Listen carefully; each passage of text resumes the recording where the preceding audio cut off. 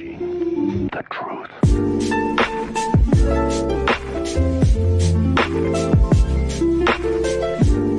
Here's hoping you all had a fantastic Christmas and a very happy New Year. Now, on Christmas morning, on you know, a lot of people out there probably opened uh, their Christmas presents to one of these, like a, a mini quad, or one of these, which is a build your own mini quad from uh, Lego.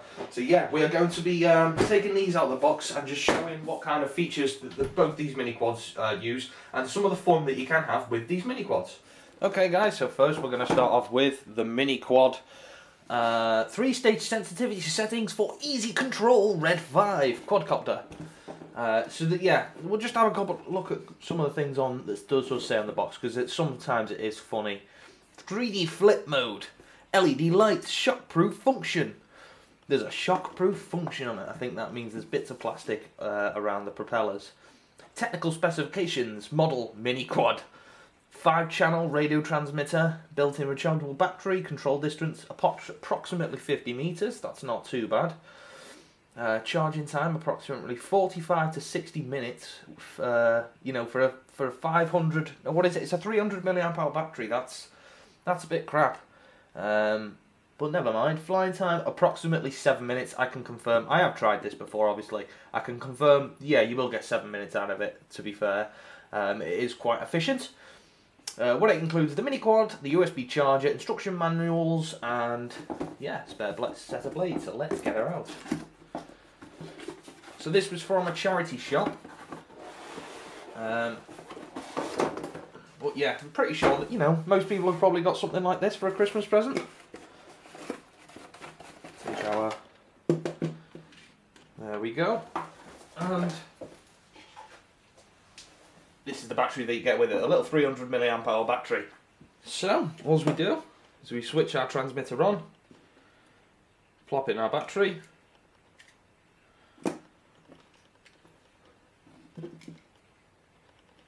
turn it on, and then we need to go full throttle, then back again. And then we're armed, ready to go. And here is our build a brick drone. Uh, it's basically a Lego drone. You get your flight controller, your receiver, um, and your ESCs all in one little pod. Uh, your motors in separate little pods, and then you basically you can build your own frame that you want. This is also from a charity shop. Um, but yeah, again, I think I paid six ninety nine for this.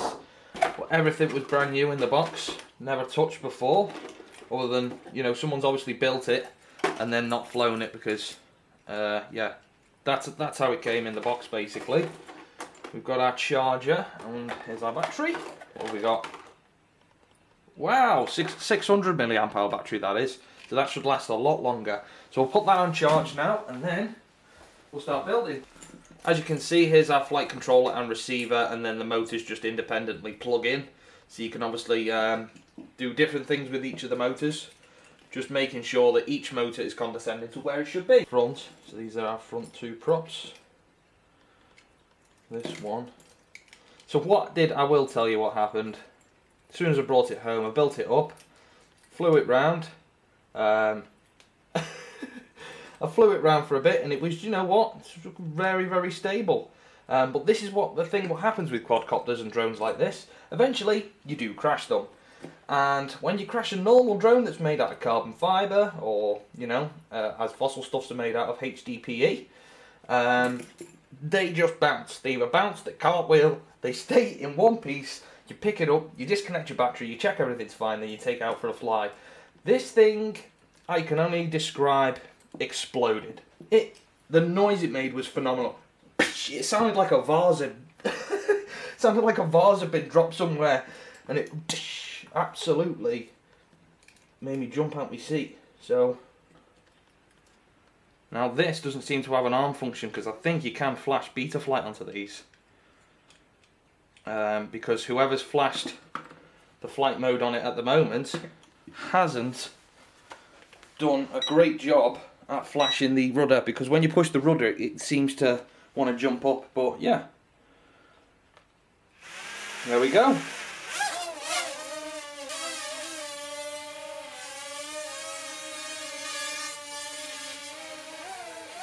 Well, that is a Lego drone. A drone made of Lego. That not more than two minutes ago was, you know, smashed into a couple of pieces.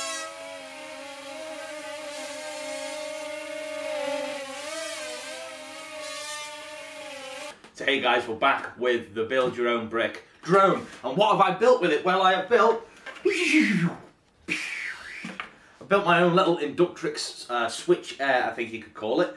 So what I basically did is just took some foam board, made myself a wing, a tail, and cut some holes in it for, you know, some some space for the air to flow through. We stuck the back two props at 45 degrees, and uh, yeah, the flight controller's just there in the middle, in the middle of the centre of gravity.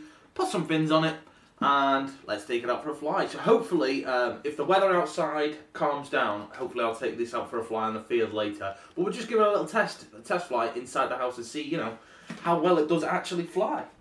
Oh! It wants to go...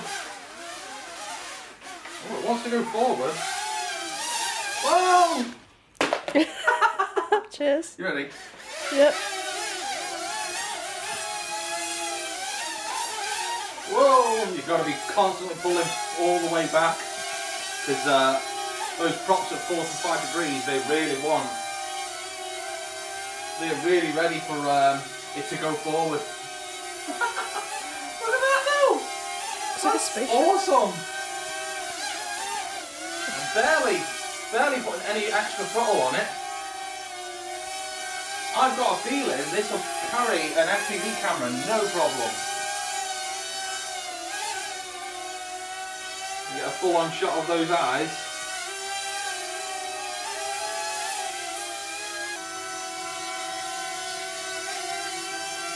I bet you if I try, it's, the sun's going down now, but if I try and take it outside tomorrow, it should fly okay.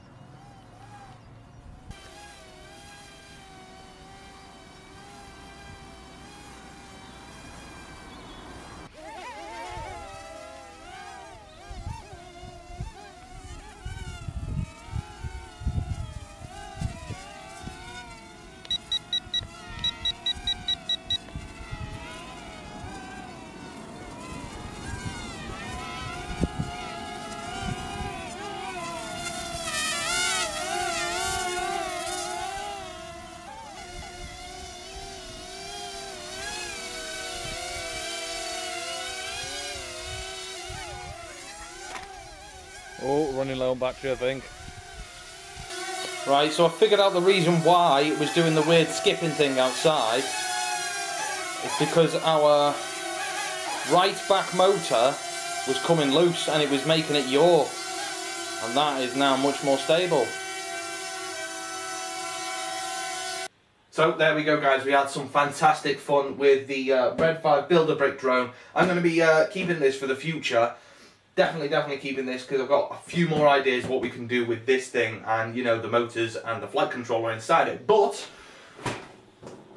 to my subscribers, I'm going to be giving the Mini Quad 2 uh, Red 5 away. So if you want this, if you want to win this, uh, subscribe to my channel and by the, this time, the end of next month, uh, I'll pick a subscriber and uh, yeah, you can win this. Work. So uh, thank you very much for joining us today, guys. If you like this content, don't forget to hit that subscribe button. It's just up there. And if you'd like to see any more of my videos, I'll put one down here, and I'll put another one just down there. Thank you very much, and I'll see you next time. The truth.